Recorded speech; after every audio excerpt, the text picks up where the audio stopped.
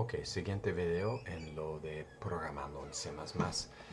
Eh, ahora quiero verlo de usar lo que es un makefile. Entonces, ah, para muchos proyectos vamos a usar un makefile porque la meta es que estamos desarrollando código con más que un archivo. Mucho su trabajo hasta el momento en varias clases es usando un solo archivo, pero en producción no vamos a hacerlo así. Entonces, aquí en la carpeta tengo el mismo hello cpp que tuvimos antes y aquí hay un makefile. Eso es un ejemplo de un makefile. Um, que tengo la referencia en internet, luego lo, comparto ahí en, en, la descripción del tutorial de YouTube. Ah, aquí está la definición. No podemos cambiar mucho. Puedes copiarla a cada proyecto. Aquí va donde vamos a tener que hacer cambios. Ahorita nuestras fuentes son hello.cpp el ejecutable que queremos hacer se llama hello, a lo mejor vas a tener que cambiar eso en, en otra aplicación, pero lo demás no tiene que cambiar.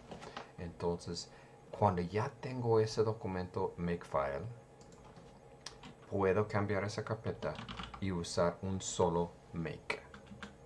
Y lo que hace make es y muestra todos los comandos que está haciendo g++ menos c que es compile menos o el archivo de output es hello.o, hello.cpp.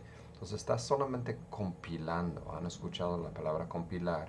Y a veces cuando estamos diciendo compilar, realmente estamos diciendo compilar y ligar, hacer el, el parte de linking para crear ejecutable. Y luego lo que estamos haciendo es G++, algunos flags, luego hablamos de eso. Y el output ese es el programa y estamos haciendo ese programa desde el objeto que compilamos. Tiene más sentido cuando tenemos más archivos, pero eso es. Tengo otros comandos aquí.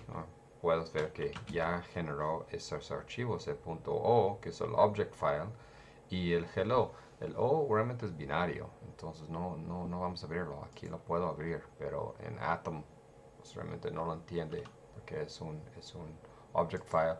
Y hello igual, es un, es un ejecutable.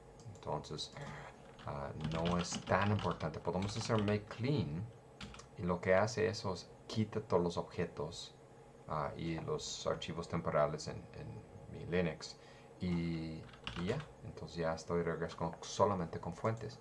Otra cosa que podemos hacer, ah, voy a cerrar el makefile, voy a cerrar ese hello, don't save, no, pues cerrar mis settings también si tengo en Atom, de hecho quería esos settings, entonces voy a las preferencias, voy a ver los paquetes que tengo instalado y tengo instalado un paquete que se llama gcc make run y eso permite compilar y correr nuestros códigos de C++. Entonces con esto, desde aquí puedo dar clic derecho y compile run o F6 y lo que hace es, va a mostrar aquí lo que hizo, compiló y pues ya generó el hello y fue un éxito y abrió un terminal aquí para mostrar ah, el resultado de correr el programa.